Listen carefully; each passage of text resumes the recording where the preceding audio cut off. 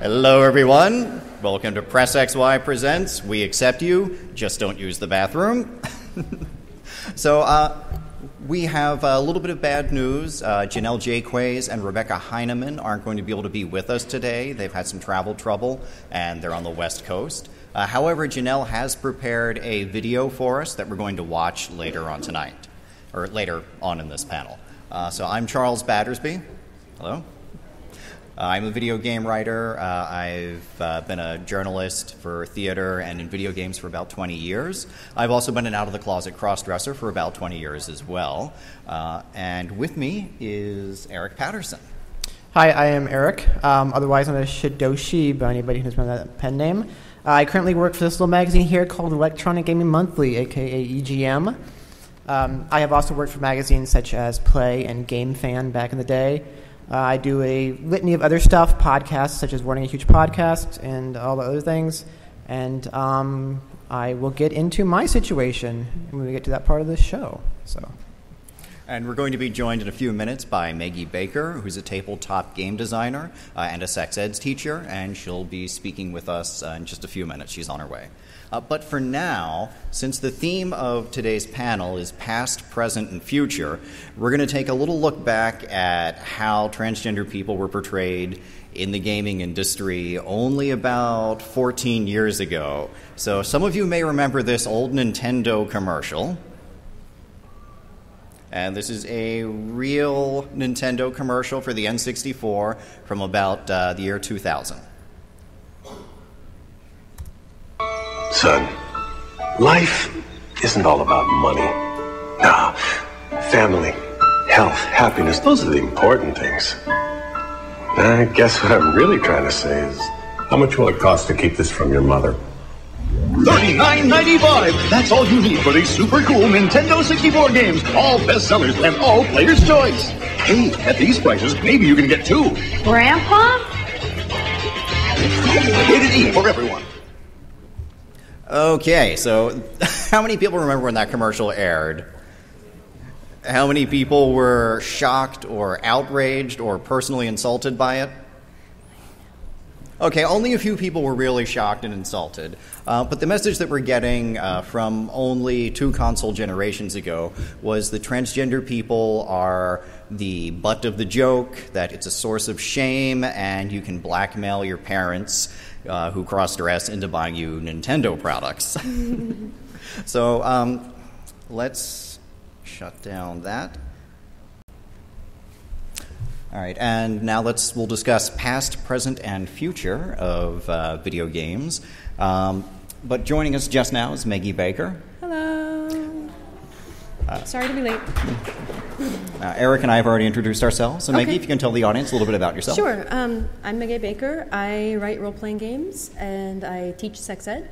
And um, so this is a place I'm very interested in.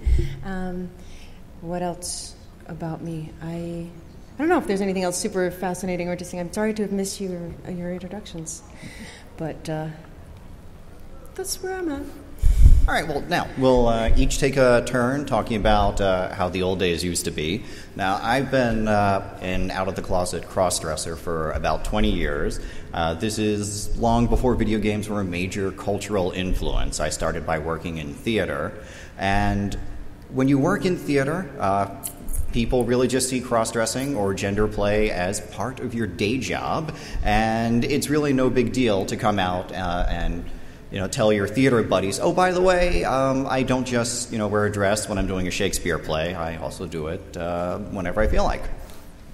So, but with the video game industry, um, it's a little more controversial. Other mediums, especially television, um, used to be very conservative, uh, and it seems that transgender people are the last civil rights barrier to be broken.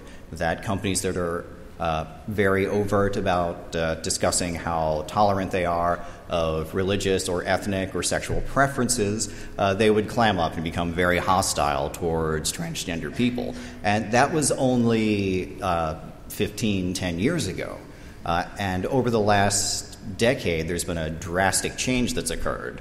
Um, but in terms of the gaming industry, um, we had a lot of people in the 90s and the 80s, classic game designers, who uh, had their careers ruined because they came out of the closet. And these are industries that it wouldn't be a big problem if they had just come out of the closet as being gay, but there is overt transphobia. And a lot of the classic game designers um, who came out, uh, they've resigned from game making. There's a few brave ones that have stayed in the industry that are carrying the banner for a new generation. And it's reached the point that a major con, like, like PAX, will do numerous transgender specific panels uh, over the course of it's been two years running now at PAX East. And uh, I've been pretty lucky with my transition, uh, coming from an industry where no one really cares if you're a crossdresser, uh, and coming into uh, the game industry. There was never really a moment where I had to come out of the closet. It was just something everybody knew. And Eric? So my my situation is a little bit interesting because um, I'm still in the position of not transitioning yet, uh, as male to female. Um, but I've been kind of out with this for a few years, um, and when I was a very young child, it you kind of know that like things are going on, but you don't know exactly what is going on. And I remember the fact that my mother had made me a uh, stormtrooper outfit, so I could dress up as a stormtrooper, but she also made me a Princess Leia outfit, so I could dress up as Princess Leia. And as a child, I, I never thought that that was anything strange, you know. And my mother never said, "Oh, you're not supposed to do that," you know. So I, I was lucky in that regard, but in a same similar way, um, I didn't totally understand what was going on because I just thought that was normal. You know, I had my He-Man characters and I had my My Little Ponies, which of course I guess now is okay. guys, you know, times have changed a little bit. Uh, so I never really realized that. But, you know, as I started growing older and I was like, wait a minute, something's not right with how I feel and how things are going on for me, things got very confused. And the way this starts connect, to connect, to video games is that right out of high school, I started at Game Fan Magazine, which some of you who are younger will not know that. Um, that it was a very, very big magazine back in the day. And I went there and very, very quickly found out that video games are a boys' club. They were, and unfortunately, they still kind of are. Uh, and the things that made me different made me very much stand out. And I received a lot of pushback from my coworkers because of that. I had a few friends who were accepting of me to some degree, but they were still like, okay, why do you do this? Why do you do that? Uh, I remember one time the fact that it came up that I uh, shaved parts of my body that maybe men shouldn't be shaving, you know, and that was a huge ordeal at the offices of Game Fan because I, I did that, you know. And at that point, so I really didn't understand, but I had to work very hard to keep that side of me repressed and keep it away. And I think part of that is the reason why it took me so long to really come to understand what my situation was. Uh, and I, a few years ago, did finally figure that out, started dealing with it. But my situation at that point was the fact that, um, and I'm not saying I'm any kind of celebrity by any means, but I did have people who knew who I was uh, through Game Fan, through the magazine I worked for at the time, Play Magazine, through my uh, various you know fan projects or whatever. I had people who knew me, and that was kind of terrifying. Uh, you know, in your own world, whatever you know, whoever you are, whatever you are, if you have a secret that you're kind of hiding and then you decide I'm going to tell other people, that can be a very, very frightening thing. You know, how is my family going to react? How are my friends going to deal with this? You know, what are the people around me going to think? You know, in my situation, I had that, and then I had all these people who were talking to me over my history of stuff and saying, "Oh, I loved because of this, that, and, you know, I follow you and everything." And I was like, "Oh my God, how are people going to react?" Um, so that was kind of a weird thing for me, and, and I'm I'm actually not officially completely out about this. So it's like my the worst kept secret that I've ever had. um, so it's kind of like I talk about it and I don't make it a big deal, but I don't just come out and say, "Hey, I'm trans," woo, you know. Although technically you just did. Uh, yeah, I guess. Yeah. Uh, so you know and, and to kind of wrap this up, um, the one thing I've found, and the one kind of point I want to really hit on is, you know, we, we're going to talk about companies, we're going to talk about game developers, publishers, things like that, and how they deal with the trans issue. But one of the places I've been the uh, proudest and also the most disappointed is the community. Um, you know, for a lot of you out there in this audience, I'm sure you're not trans, but you have something about you. You have something inside you. You have some quirk, or you have some personality trait, or you are a certain way. You are who you are. And it used to be a time when gamers were shunned. You know, we, we were the weirdos in our basements playing games in the dark. You know, we were inside doing this weird hobby when we should be outside playing softball or soccer or riding our bikes and everything. And so, for so many years and for so long, we were, you know, ostracized from the world because we played video games. And we had to say, we're going to rise up and get beyond that, and we're going to be gamers and we're going to be proud. You know, and, and that's great, and that's out there. But in our community, then we stab each other in the back a lot of the time. You know, we are not accepting. I mean, look at the issues recently with female gamers. You know, female gamers still have so much to go through, and, and they still have so much crap slung at them by the gaming community. And that is half of the people in the entire world. You know, when you start bringing us down into smaller and smaller groups, then it's, it's like, okay, maybe I can understand if I'm in some fringe little group that doesn't have that much uh, presentation out there, but female gamers alone are getting this. And we as a community have to come together and say, whoever we are, whatever we are, you know, we are. I mean, I don't necessarily want to say we rally around being gamers, but we are gamers. You know, we play video games no matter what it is. And gosh darn it, can't we all just be friends and can't we all just enjoy games together? And can't we all say, hey, we're in the same little community, we're a family, and let's support one another? So, you know, my personal thing in this has been seeing the good and seeing how nice people can be and how res- responsive and respectful and receptive people can be in my talking about my situation. The downside is there's still a lot of people out there who not only don't care, but they don't want to care. And they don't care about finding out who you are. So and Meguey. Um, okay, so my angle on this as, is as a publisher, as a game designer. And one of the things that's important to me looking at uh, gender issues in game design is uh, twofold. One is to be sure that the people that I'm hiring, I'm hiring people, not genitalia. Um, the people that I'm working with the attitudes I want to have in my game design and in the people that, I'm, that I have around me have the level of inclusiveness and diversity and interest in who you are. I think that was a brilliant comment. You know, being interested in who you are matters. Like I don't, as a game designer, what I want most is for you to enjoy playing the game I'm making. I don't care really about anything else. You know, you could be.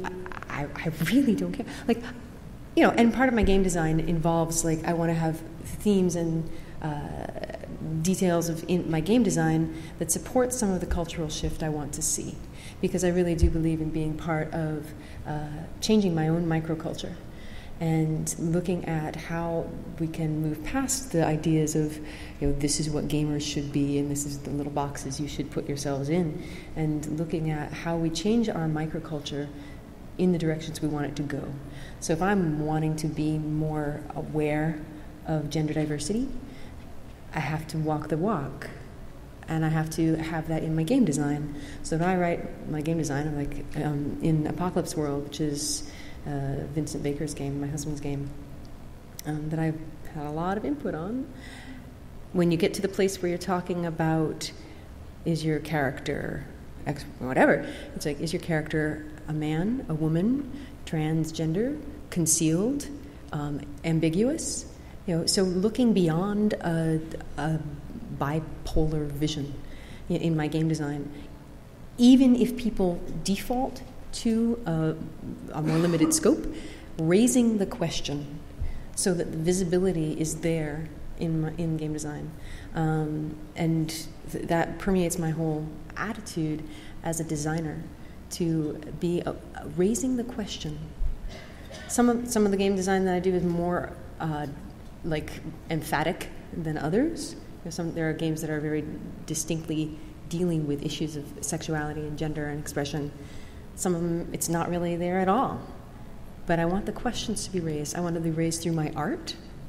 I want them to be raised through my mechanics. I want them to be part of what I'm thinking of in the process of designing. That I'm not just designing for, you know, this little segment. whatever that segment is, but that I'm designing in a way that's accessible um, and that's flexible. And I think that's one of my favorite parts about gender, is that it's flexible. That's so cool. uh, you know, it's my favorite bit.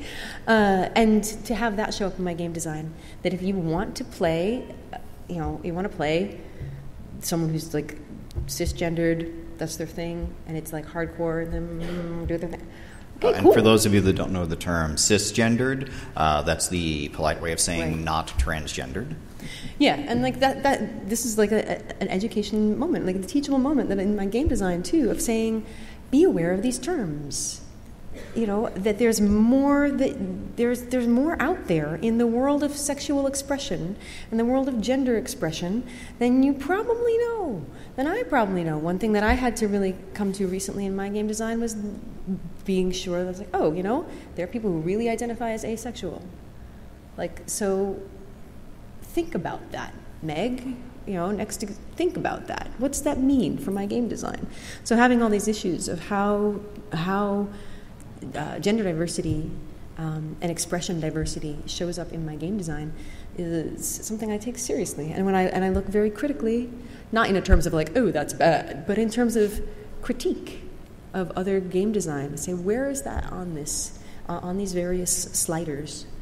Where where is this game? How, what is this hitting? What is this saying? What is this saying to the teenagers that I work with? What sort of what's going on with this game? Um, so that's really that's where I'm coming at this from. Yeah. That's great that uh, your company's doing that. And there are some other companies. Uh, I was very surprised to learn that um, some major gaming and tech companies have been praised by the Human Rights Campaign uh, for being exceptionally aware of uh, LGBT issues. And among them, are some very major game publishers and some other companies like Electronic Arts, GameStop, and Cisco, uh, and also uh, some other big tech companies, Apple and Windows, have both gotten very high ratings from the Human Rights Campaign.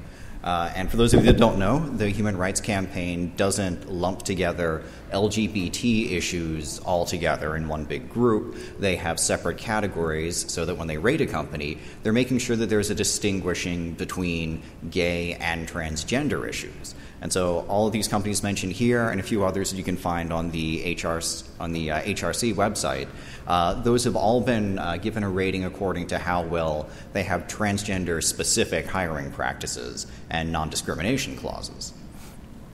And uh, there are uh, organizations that have kept track of just how many companies will have s- transgender specific regulations. And uh, one organization said that it was about 2% of companies had transgender specific ordinances in their uh, employee codes back in 2002. And now, a mere 11 years later, it's drastically risen so that most companies actually have some specification that says you uh, can't discriminate against someone just for being transgender, even if that person considers themselves to be heterosexual.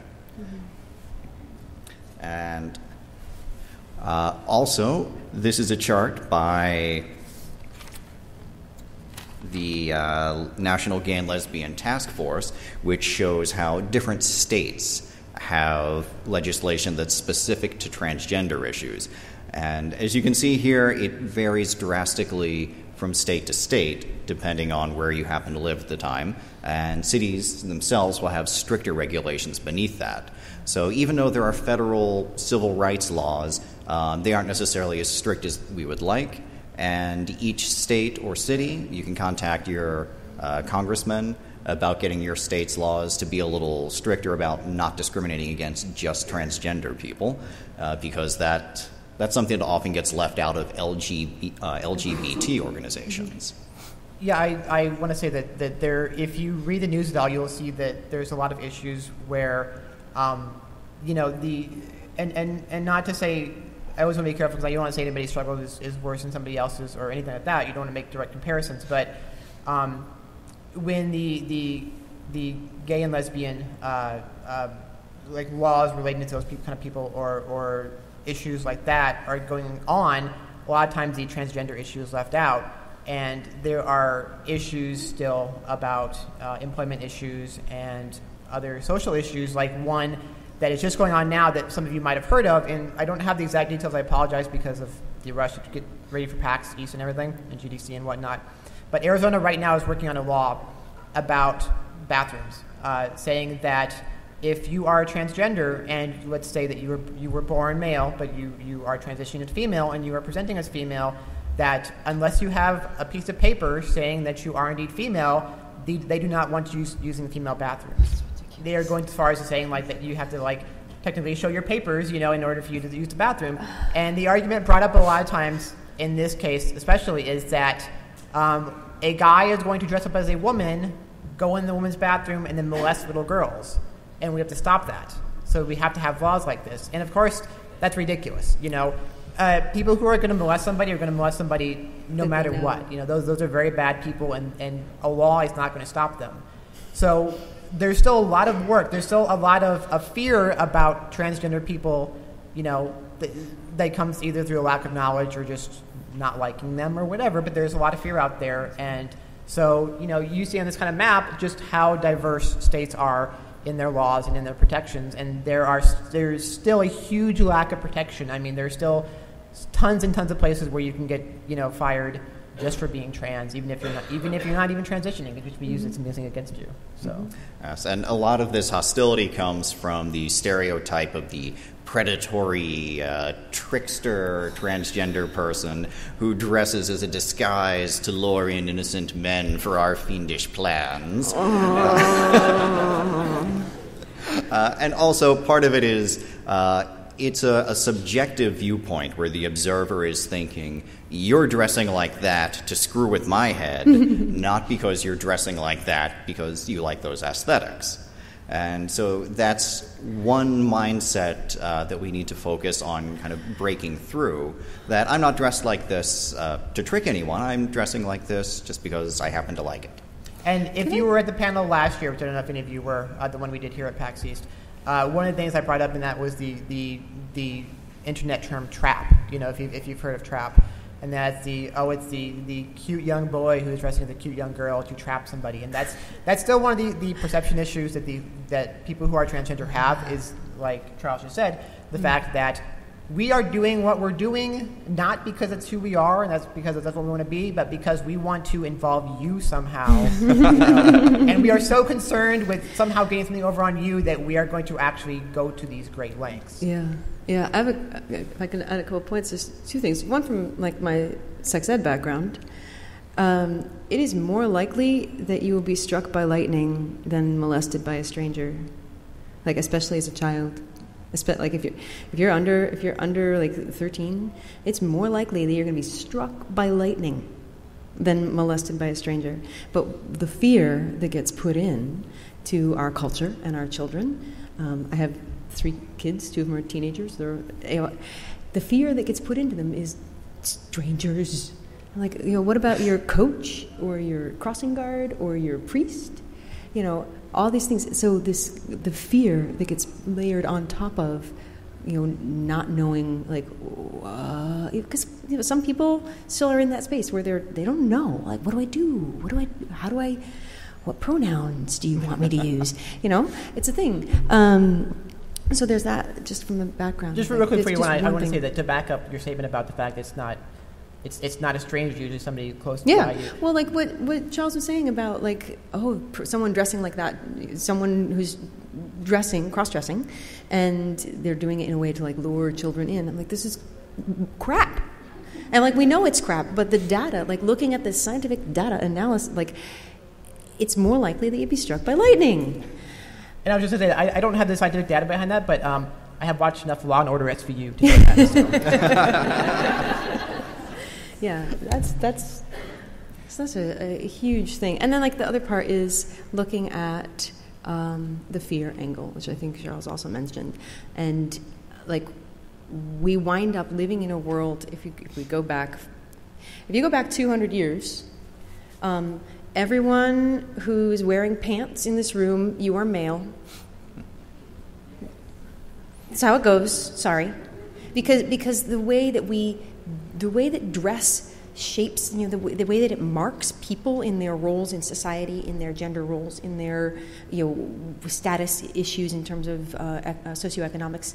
That's all really transitory. You know, we, we can find places through history where everything is different. Look at different places in the world, and it's like, oh, everybody wears dresses all the time. I was just in Ethiopia, guys wearing dresses all the time. No, what? Why would this be an issue? Because that's where that's how they dress. I- So I all think I these would be the height- questions, oh, sorry. that- so all these issues of how you dress. You know, why why is this still a question? Why are we sitting here in 2013, and the map looks like that instead of just you know high all the way across? That's my question. Oh, and uh, we have a video from Jennell Jaquays that we'd like to show. Uh, but first, I'd just like to talk a little bit um, about how the future, based on the progress that we've seen over the last um, few decades, where there has been uh, a much greater focus on tolerance and understanding transgender people. Um, the progress is coming, uh, not as fast as I'd like to see it. We still have both The Simpsons and Saturday Night Live using transgender people as the butt of their jokes uh, just as recently as last month. And if, I was going to say though that um, I don't know if any of you watched the NBC sitcom Whitney.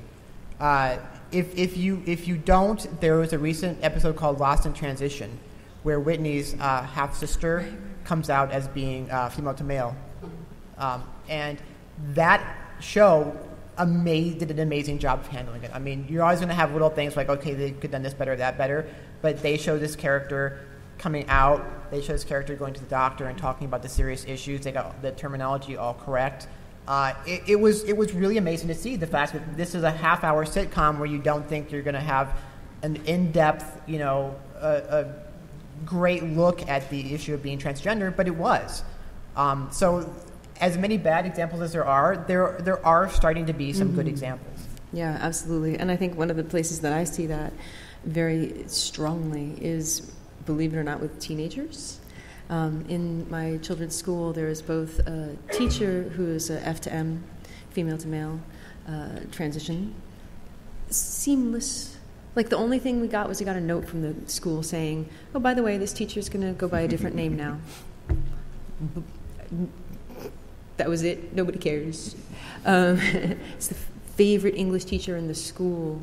Um, and then the other thing in bathrooms, as you mentioned earlier, like I was at a dance for seventh and eighth grade kids earlier this year, and one of the kids came in. She's like, "Wow, she's what a cute kid she is."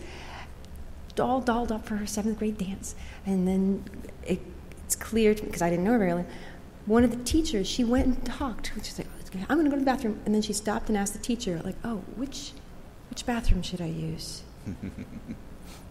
it was cool, you know, this little conversation, and then it felt about. It's like, well, you know, go with your biology for now, and you could see in him, he's like, I'm sorry to have to tell you this, but it was a seventh grader who was totally out at a dance. And I was like, anyway, so that's where I see the future and the change. And I, I totally think that it's happening. Like, the map is going to roll, and it's going to happen because, like you said, with the sitcom, you know, Lost in Transition, things happen, and we see, uh, we see media moving culture.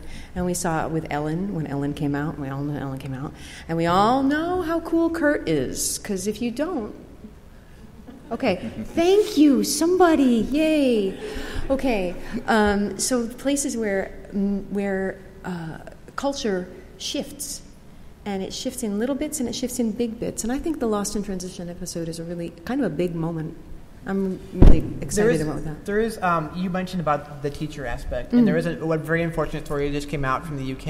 And again, I apologize for not knowing the exact names in this case, but it was somebody who was uh, male to female, and she had transitioned, and she was a teacher at a school in the UK, and somebody at the Daily Mail uh, just totally reamed her in the paper, uh, said, you know, oh, look at this freak doing this, and that she was hurting her children by doing it, and that not only should she uh, not have uh, become a female, but she should have a totally different job. She should not be around children at all. And it, the the news story this week was the fact that she killed herself. Um, and it, you can't directly say, okay, this led to this, but we know the issue of bullying. I mean, you know, uh, even past the issue of being transgender, you know, bullying is a, a huge problem, uh, and that is definitely a case where I think that's that's what led her to do that because when when you care, you know, I have to assume that she was she was a, a good person. She was not trying to hurt her children, and doing what she had to do for her life is not anything against her children that that you know she was teaching, and then to have somebody. That's I guess what I'm trying to say is the fact that, that that's the problem. Um, you know, with anything is that if you decide I'm going to live my life the way I want to live it, not to the whims of other people, that is one of the issues that you face. Is is people not just saying I disagree with you, but saying I disagree with you and I think you're a horrible person and I am going to rally against you. You know, and so we it's like one step forward, half a step back. I, I would like to be hopeful and say half a step back. Yeah. You know, Yeah. but so we do have to make these issues and and we have to realize that I there was a panel last last year here at PAX East about the uh, issues females face in the gaming community, and one of the things that was brought up was that male gamers have to speak up. You know, if if you hear female gamers getting ridiculed online, getting called names, you know, you can't just sit there and stay silent. And that's with everything is we can't say silent stay silent about other people's issues. You know, we can't say I'm not that, so I'm not going to worry about it. And we have to come together and, and help each other. I know it's it's hippie, uh, new agey, you know, No, but we have to do that because if we don't, as a people, we are not going to progress. Well, it's, it's, it's right up from the 80s, you know, with, with the, when the AIDS epidemic was first hitting, and we had the silence equals death. You know, it does. You know, and speaking up is incredibly powerful. And we talk about the bystander effect. Y'all know what the bystander effect is? Yeah, cool. Um, for the heads that are not nodding, and there's a lot of them, which I'm glad of, it's this situation where you see something, but you don't say anything because you don't want to get involved. And you don't want to maybe offend somebody. Maybe someone's going to say something bad about you, or it's going to turn on you. It's powerful, and it, it takes courage to say, you know, that, that joke was not cool. But it's also really small. You know, when you're on an online forum or something like that, and someone says something derogatory, and you don't like it, it's you don't have. to, it doesn't have to be a giant confrontation. It can be like, oh, that wasn't cool. Okay, moving on. We're going to go back to doing what we're doing. You know, these, these tiny, tiny things of reinforcing the show, the social shift that you want to see. Saying, oh, not, not, you know, oh, I told a horrible joke. I'm like, not so cool. Okay, moving on. I, Yeah, a, problem that I've been getting more often, which I'm happy to see, is people that are struggling to find the polite thing to say. Um,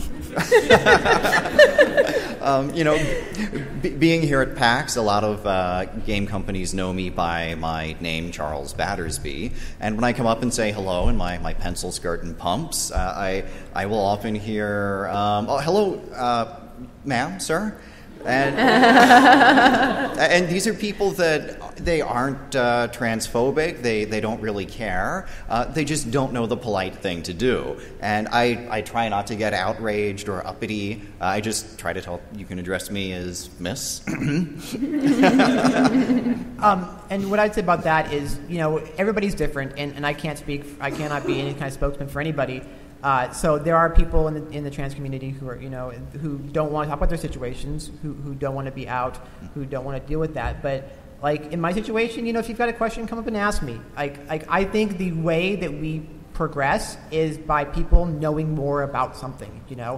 And I will never not want to inform you about something. And so I think if you don't know, that's fine. And you can say, I don't know. You know, it's, it's better to ask, when it comes to trials and ask, how should I refer to you, you know, so that I don't insult you, than to just assume or just say, I'm going to walk and go somewhere else and not talk to this person because I'm too paranoid and freaked out about it, you know? Like, ask questions. Ask if you can ask questions, you know, and then ask questions and, and ask what is right and wrong for that certain person. Like, don't be afraid to interact with people and, and find out what they want. Because I would rather a little bit of weirdness at the beginning when you're saying, um, I don't know how to talk to you. Can you inform me about that? Than, than you to not talk to me or you to not feel comfortable enough around me. I think it would be great if we got to a point where there was just an easy, like, easy part of talking to anybody was just like, oh, so what, what pronouns do you prefer? You know, what if that was just a part of it? Like, oh, what's your name? What pronouns do you prefer? You know, wouldn't that be cool? Thank you for the claps. Yeah, and Do it all the time everyone. Yes. Whether or not you expect to be a pronoun that you're expecting. I'm sorry. I, I no, you're totally right. Exactly true. care about it. I, I mean, in, in a lot of situations, I try really hard introducing myself and explicitly doing this, even when I have a really strong feeling that this is a person who has their preferred pronouns that match with the presentation, and that there's my sister looks entirely male, has no interest of doing anything to look female, but her preferred pronouns are feminine. There's no way to know that without asking. And if you don't make it normative to ask everybody every time, then somebody feels singled out because you're saying, hey, what are your preferred pronouns? And it's really super easy. When you say, hi, my, my name's Pat, what's your name? What pronouns do you prefer? It, it, it's as simple as that. And I'm going to shut up. Yeah. Oh, uh, we'll have audience questions uh, in a few minutes, and you can tweet them. so you can tweet them to uh, hashtag PressXY. Um, we're also going to watch uh, Jennell's video. Uh, but before we run the video, I just want to talk about one issue. Uh, another uh, happy problem that I, I'm always glad to have to deal with, uh, and that's what I call the vanity trap where uh, people will sometimes praise a transgendered person for conforming so well to their, you know, their new gender, or inform you of just how fascinating it is and interesting that you're a transsexual or a transvestite. And it, it's, you know, it's great that people are stroking your vanity with these compliments, um, but ultimately the goal is for people to not really care. It- It's just something you do.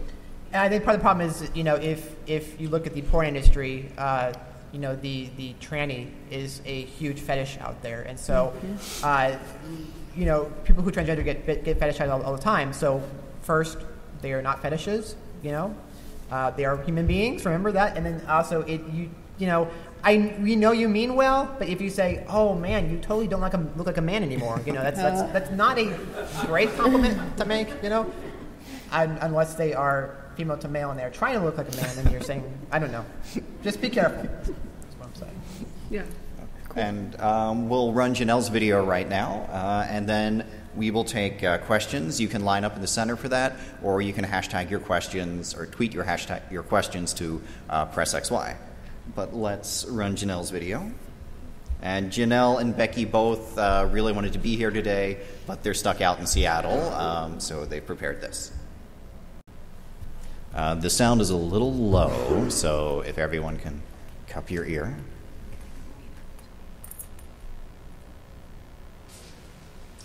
Hi, I'm Jennell Jaquays, the Chief Creative Officer of Old School.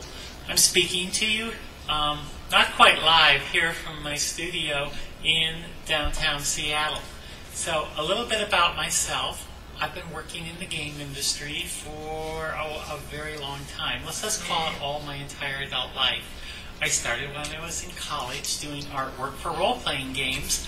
Uh, soon got into writing adventures for them with a small publishing company called Judges Guild. Then went freelance for a year. Then went to work for Coleco, the creators of, of um, ColecoVision. I uh, left the company when they kicked out everyone who was making video games during the video game crash of uh, 1984 to 1985. At that time, I was director of design. Every ColecoVision title that came out from Coleco came through my hands in some way or another. Um, I freelanced for a number of years as an artist and game designer, ending up at TSR, the original publishers of Dungeons and Dragons, working as a cover artist. From there, I stepped back into the video game industry, uh, doing level design for id Software, working on titles like Quake 2, Quake 3 Team Arena, uh, and Quake 3 Arena. Forgot that one. From id, I stepped back. I stayed in the uh, game industry, staying in Dallas, working on the Age of Empires titles, Age of Empires 3 in particular, and one of its uh, expansions, and then was an environment artist on Halo Wars doing their multiplayer game maps. His most recent position in the game industry was with CCP, the publishers of EVE Online. I was working on another MMO as their lead level designer, the World of Darkness MMO based on their mass, uh, Vampire the Masquerade game. So, obviously, at some point, I chose to stop being who I was and to let the real person come out. This started about two years ago. I started actually dealing with what I will, you know, the gender issue in my life. It had been there all along. So, what to do? I worked for the game industry. Everyone knew me for 30 some years as the name I was. How do I reconcile that with being myself for the rest of my life? Well, I knew from almost the very first that whatever I would do, it had to be public when I finally came out. And that's how I worked my transition. I started in the summer by getting together with another trans woman I worked with. We met with our HR department and tried to get them to convince, or tried to convince them to change their healthcare policy. After coming out to human resources, the next steps were to come out to my managers. Beginning with my immediate manager, I used a letter to come out to him. We read a uh, he read a three-page letter I'd written to him over lunch, and was immediately accepting. Uh, my next manager, the producer for the project, it took about a month to catch up with him. He was traveling constantly. Um, finally, the way I came out was I sat in his office and over the course of less than five minutes just shared that I was trans. He said, basically, fine, you're not our first rodeo. Then I prepared to come out to the rest of the company, which included drafting a letter to the entire company, which I was also going to be a variant of the one that I drafted that for coming out to the entire world the company letter had to be reviewed by senior management, which included the president of the company and the corporate attorney. They both played in the adventure game that I had been playing in for several months, and now they might get an insight into why the character I had been playing was female. So, having come out to the company, I came out to the world. It was the right thing to do for me, the right thing to do for my career, and I do not regret it.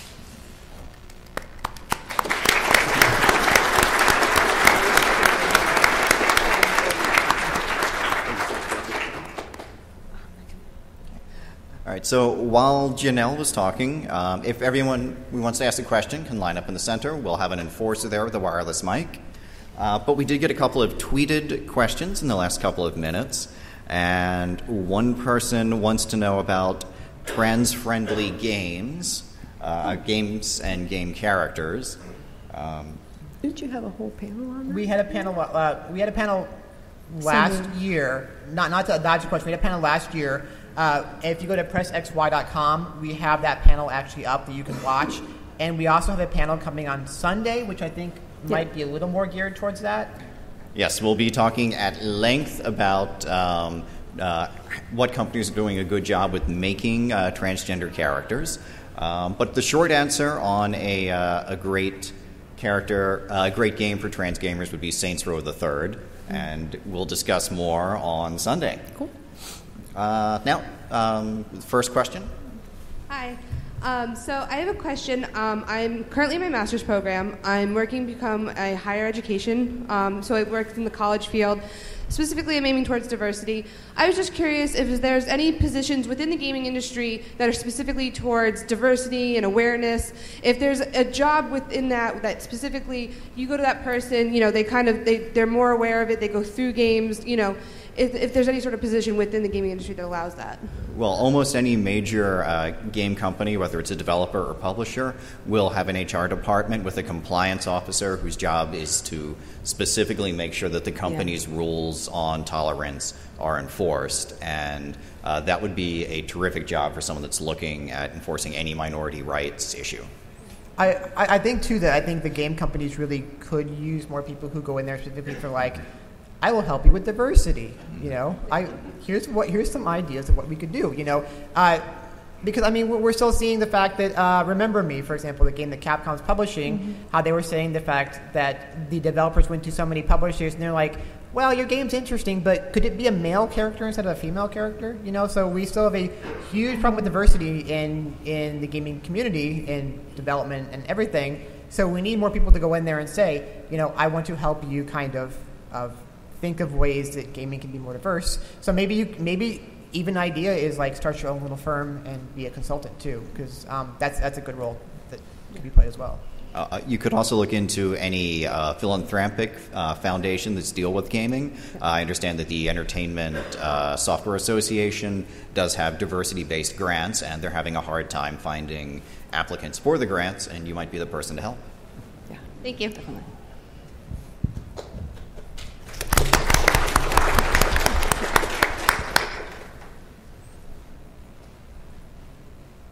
So, I feel awkward about the question, and I feel the need to preface it with that and also this. Um, I grew up reading a subset of fantasy fiction that was all about girls living as boys for years at a time. And it was normal, and no one felt the need to explain why they're doing it because it was like a gender role exclusive job. So you just had to pass if you wanted the job. And I don't I'm sort of self indulgently curious about how that actually feels to read as a transgender person. Interesting question. Yeah.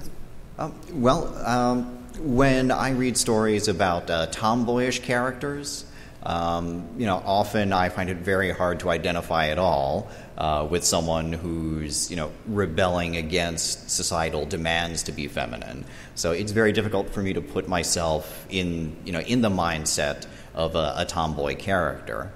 Um, but uh, you know, occasionally I will read stories where it's a you know, character who is uh, you know reluctantly forced to cross-dress in an old Shakespeare play or an old Restoration comedy, and you know these, of course, I, I find just more ridiculous uh, the more times I see this gag being used. I um, interesting story about this. Um, not necessarily related to the story you're talking about, but uh, I've been a fan of Japanese manga for a long time, and there's a manga called Fushigi Yugi, um, who has a character, if I remember correctly, a character who is male but dressed as, as female and presented himself as female. Um, and this is before I really knew what was going on with me, and I was reading that comic, and I found out he was male, and I'm like, God, why is the one female character in this story a guy? Like that sucks so much, you know. Like I was like, I was like morally and, and, and emotionally hurt by that, you know. Um, but what's interesting is since I figured out what was going on and kind of started dealing with it and being like, okay, this is who I really am. That I I do find interest in those kind of characters, and I find interest in the gender dynamics that can come up. And it is interesting because I think of you know you have the Asian cultures where there is a history there of, of kind of cross dressing in certain in certain uh, uh, positions or situations or whatever, and you have these different societies where it's not looked down upon or it's a different subset. So I don't know. I, I, I find them interesting. I, I find it interesting whenever we have characters that can kind of break the norms and present a different side. And you know, part of it is, is kind of personal for me because I'm, I'm just selfish. I'm like, I want a trans character in every game out there, goddammit, you know. uh, but so it's it's it's interesting. I, I think. Yeah, for sure. Um, as a cisgendered person, I think that one of the, benefits to reading uh, fiction, even from Shakespeare on up, of recognize because it, it raises the question, you know, w- under what conditions is it by choice, which I think is a very important question, um, and how does how does it shift the way you interact with your microculture? I think it's great. Um, I think I, I'm I'm glad you asked it. I'm glad I got to hear the answers.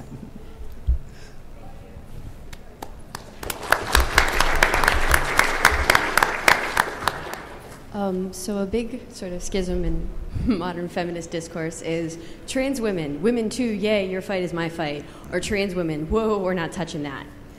You're women, but I guess you're not women enough, you know, to be with us and for us to take up your banner. So, in your experience with women in gaming, the communities that you found, the people that are out there, um, how has that been working out? Which side of the line are they falling on that? Can I speak to that for a minute? Of course. Um, I write for Gaming as Women, which is a, a blog online. Uh, we won an ENnie last year, Ooh. um, and we have we have women on our writing panel who are transgendered, and that's like this is a thing that's very interesting because we have that discussion all the time in terms of you know there are so many issues in terms of access to healthcare, access to jobs, access to all kinds of things that, as, as, as this lady's mentioned earlier, um, sorry, I didn't ask first, uh, the, that you, you have issues of access that are common. It doesn't matter if you're a cis woman or a transgender woman. You know, there are issues of access. And then I think you've identified where it breaks down, and that becomes an issue of politics an issue of personal, like where where your your personal politics lie. Um, I lie my, more on the access. You know, more access is good. More equality is good. If you're going to stand the fight, if, if, if you're going to stand next to me, I'll stand next to you. Yeah, uh, most of the uh, uh, male to female transsexuals I know in the industry, they're very much in the view that it's their fight too. Mm-hmm. Uh, and for you men who've never presented yourself as a woman or been perceived as one, you really don't know the degree of sexism out there until you've really experienced it firsthand. Uh, and I, a couple of our panelists who aren't here today, um, but they, they have said that they've been you know marginalized uh, after making their full transition. It's tough. It's tough because I've seen that that situation. You know, and me personally, like, I have uh, female friends who are gamers who they've been very very accepting, but it there is a weird struggle out there in that in that case, and it's it's it's again it's a just tough situation that everybody can't come together and be like, you know, let's have this fight together versus having to put ourselves in all these little different boxes of, of who we are. So. There's, can I say another thing to that? Sure. Okay. So, one more thing in terms of uh, feminism and sex and looking at where first wave feminism and the idea that people could have sex if they wanted, and it didn't even matter if they were a woman. If they wanted to have sex, they could. And that was like revolutionary. and then you have then you have a, a, a, a, sort of second issue co-option where you have the 70s and you have the very beginnings of the AIDS crisis, and you have uh, sex positive feminism being split by uh, conservative viewpoints of you know, all sex is bad because suddenly it could kill you. Um, and this, this we see then tr- carrying through through all of the 80s and the 90s of really th- that big split, not just between whether uh, trans w- women are women or not. You know, God, that makes me frustrated just to say. But but it goes through the whole thing of like, is all porn horrible? Is all penetrative sex rape?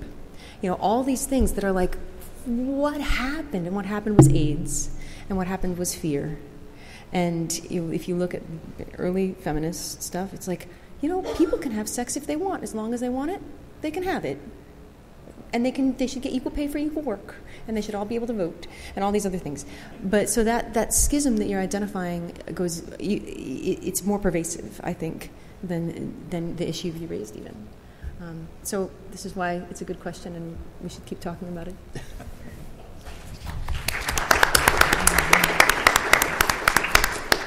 we're uh, running a little short on time, so we'll try to get through the next few questions really quickly. Seven minutes. Oh, we have seven more Good. minutes? Okay. You got a minute and a half each. All right, cool.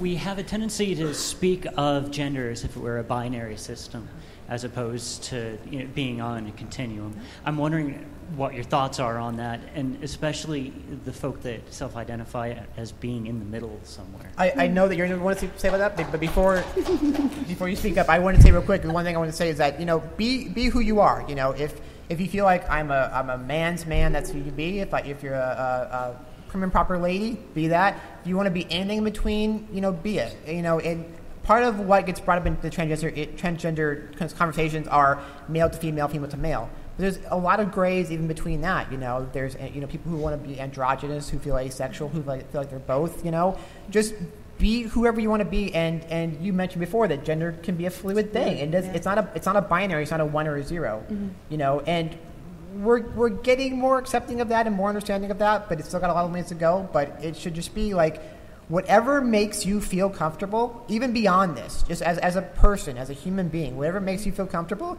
as long as it's not like hurting somebody else, you know, then just be that and, and be the person that you want to be. Yeah, for sure. Um, I, I kind of wish, I, I really love the words butch and femme. You know, it makes me kind of old school. But it, I do, I like them because that means that for myself as a cis woman, you know, I can be like, oh, you know, I'm, I'm just totally feeling really femme today.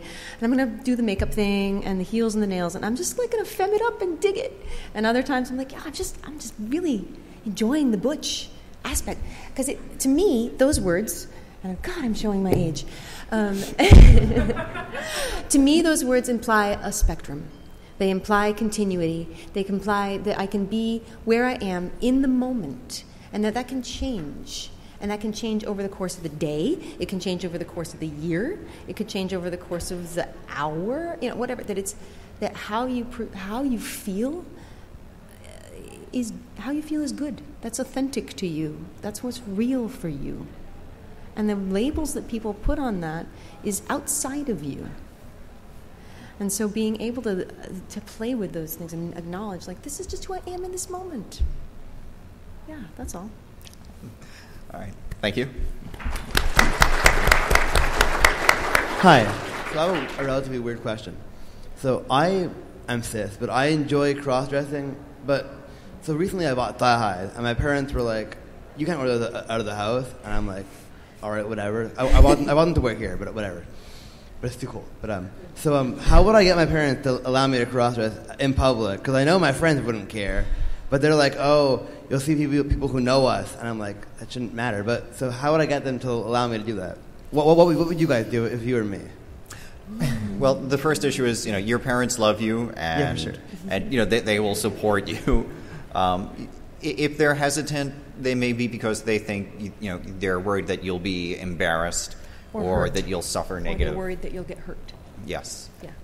It's Sorry. I, I don't know that you can make your parents you know it's it's hard to make a parent do something you have to uh, I don't know like that's that's really tough you know I mean I have, I have, I have a parent who's accepting you know but if my you, parents are okay with that with my sexuality stuff because I'm bisexual. They- They know that, but um, it's that they don't want me dressing unlike like a woman. Which I mean, I, I don't. I, I I see why they're saying that, and they love me, of course.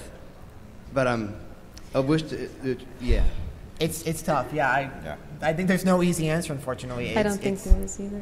Yeah. yeah I have I have two, I have teenagers. If you want to talk for a minute after, I'll try and give you an idea. I don't know if it'll be a good one. But, Oh, thank you.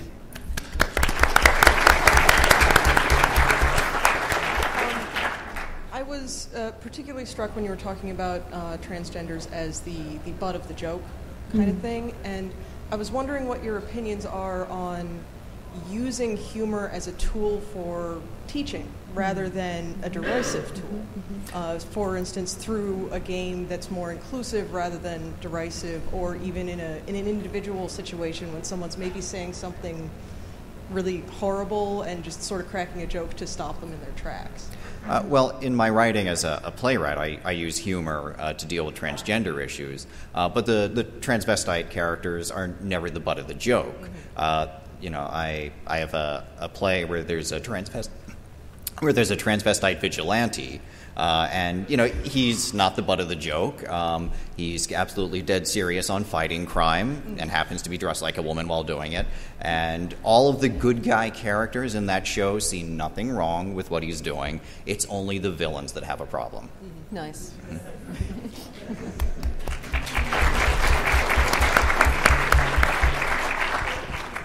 Hello, um, I'm MTF. Um, I've, I started transitioning a year ago, and I found that I, oh, I work in, in the industry, uh, tech industry, but not video games. Um, I found that I've absolutely lost interest in my job ever since starting transition. And do you have any advice, or is how common is that kind of thing? Uh, well, your legal recourses are going to depend on where you live, uh, and um, you know your company will have specific policies as- as well. No, no, Oh, no, no okay. your, your question is you've lost interest. lost interest in the I, job. I, I do not know from experience, but I have, I have friends. You know, um, the way hormones affect you are going to be different for every person, but I have friends who were hardcore gamers before they transitioned, and now they just don't care. You know, your, your, your priorities, your, your wants and desires, even, even your sexuality can change through hormones. Um, and then people like, like, like loved games before and they love games after. I unfortunately I think the same answer as the previous person. I don't think there's a great answer. I think it's just a fact that like people change. You Yeah. know. Yeah. I mean, you're blah, blah, blah. What, yes, that, blah. All right, well, we are out of time, um, but we're going to be doing.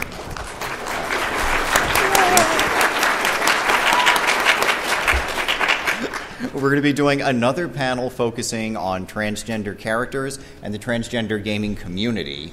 Uh, and that's going to be Sunday at 3. Yeah, Uh, Sun- Sunday, 3 o'clock, Press XY.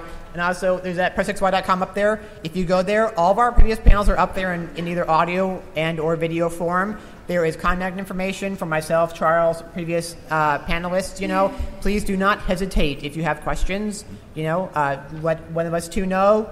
Uh, and if we can't answer them, we can get you to other people. You know, and again, like I said before, don't hesitate to ask questions. And you know, because if you want to know, then we want you to know. Yes. All right, thank you for coming.